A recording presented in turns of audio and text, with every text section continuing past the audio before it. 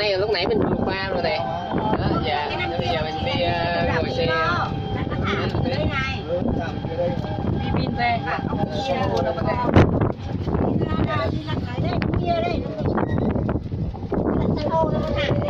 về kia đây